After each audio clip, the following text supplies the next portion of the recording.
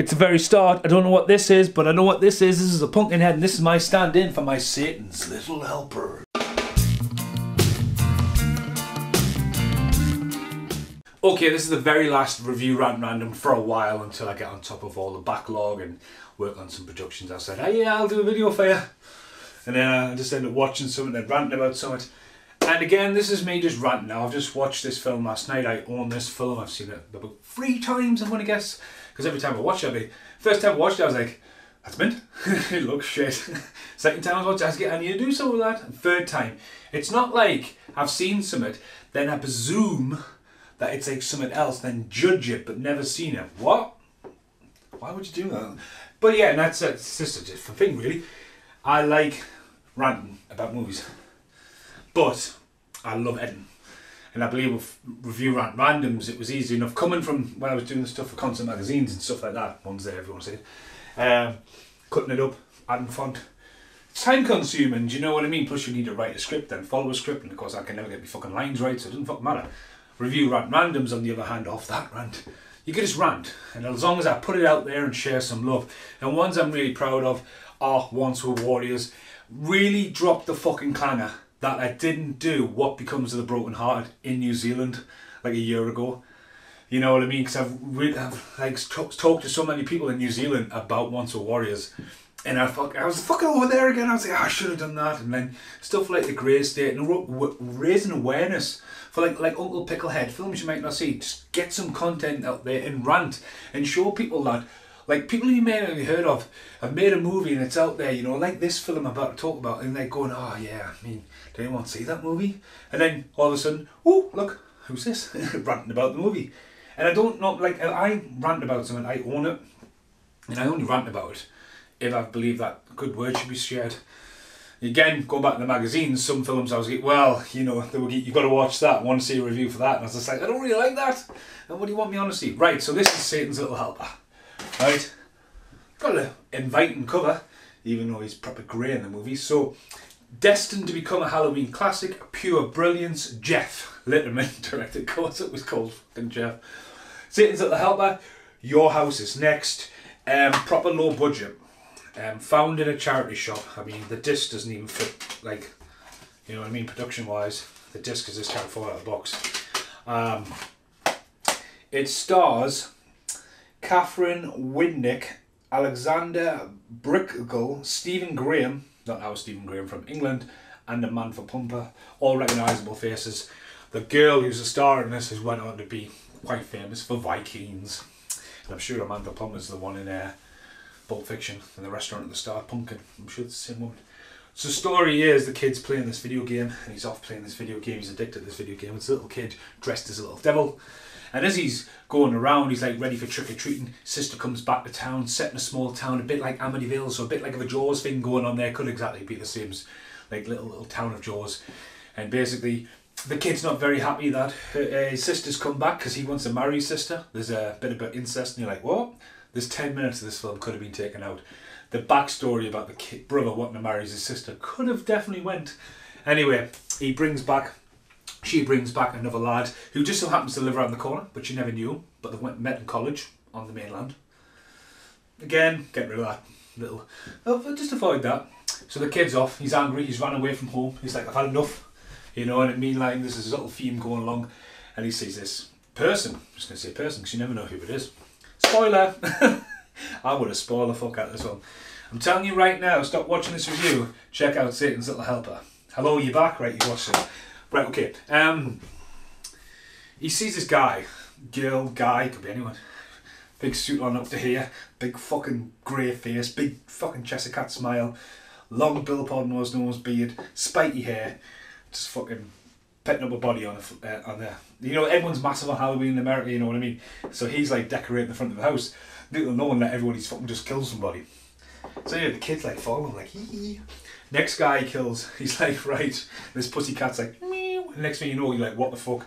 As a guy grabs the pussycat, smashes his head off again, and it's fucking fully gruesome, and writes boo on the wall. And you're like, alright. When I see that one going, because it's quite cheesy and the guy who's playing it is playing like a cartoon character. He just constantly just like and just doing the mischievous stuff. And the kid befriends him. The kid thinks it's Satan, and he just wants to help Satan because he's addicted to this video game. Meanwhile, the whole town's going upside down because Halloween's about to hit.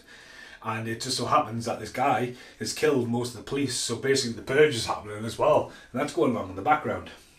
So as he goes around, the kid's just like, "Come and kill my uh, sister's boyfriend because I want to marry her," and then the family think that's him because the kid tricks the boyfriend into confronting the Satan character, and all of a sudden you think he's dead, but he's not dead. But Satan's just like, "I'll be in." So everyone thinks he's acting. So like, come to the house. So the girl's going around trying to get freaky dicky. He's like, oh, touchy touchy. And they're like, what the fuck, man, going on here?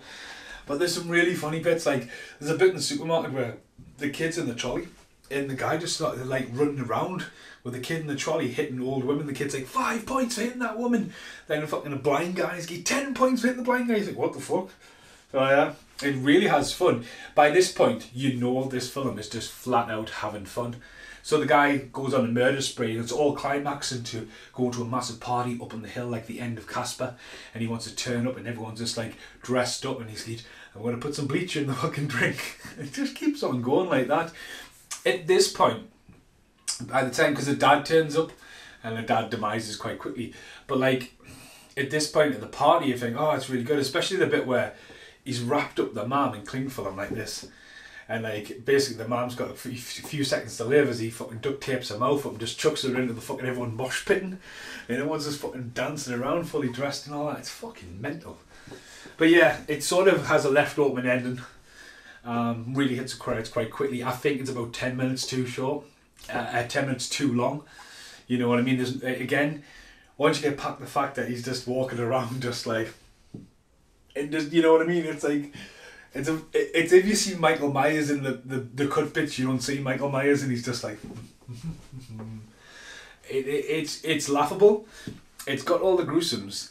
It is low budget, but it's been executed really well, and like everyone is in on it, in on it. You know what I mean? So you can't fault it. Like really, I mean, someone can. I mean, I could fault it. They're saying it's got an eighteen and a fifteen now, but that's a different story. But yeah, nine-year-old Douglas has decided that Halloween he's going to dress as his little as a little character from his favourite video game, Satan's Little Helper. Whilst trick or treating, he happens upon a mass psychopath who tricks Dougie into being his little helper. And as the two begin a hellish rampage for the small community of Bell Island, soon Dougie realizes that for real, and his new master is a crazed killer, demented by the murder of Dougie's family next. Oh yeah, as well, it's on the back of the box. I'll tell you that the outtakes.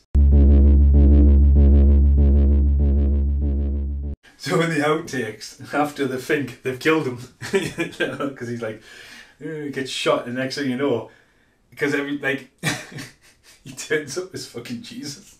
and like, so he's went from Satan, he's now Jesus, and the Jesus thing's more terrifying than the fucking mask, because the guy doesn't talk all the way through. And the kid's like, is it because the kid, or the kid does a cracking job because the kid's obviously going, is it because you don't have to, or is it because? And he's just like nodding away like a Cheshire cat. So anyway, like he just turns up as Jesus. And just like that, and Jesus goes on a fucking murderous spree, and it's just like, what the fuck, man? Well, yeah, yeah, the Jesus bit's hilarious. It's funny because of just like, oh, there we go. So yeah, this has been Satan's Little Helper. As I say, this is the last uh, review rant running for a while. I'm literally going to put this on the computer right now. Nip, nip, nip, bang. It's ready. Probably come out late February. once a rest. I'm going to drop Drop Zone, no pun intended, tonight. I'm going to drop a podcast. I'm going to drop the last retro VHS. And I'm going to go right there out the way and focus on stuff I've said. Yeah, I'll do a video for you. Yeah, let's get together. Let's work. Let's collaborate. Let's say, off ranting again, Stephen. stuff again. So yeah. Anyway, there's loads of review rant randoms and again I didn't do what becomes of the broken hearted in New Zealand. I did do tremors in New Zealand so again review rant randoms have been done on boats buses and I'm not saying that this is the end of them for lockdown. It's just like I need time to focus on other shit. So for now I've been Steve Monkey Mason. Thanks for watching. I will be back soon with some more retro VHSs and I'm doing retro VHS it's a review rant random. I'll be back with them eventually. But make sure you check out Satan's Little Helper Thanks for watching.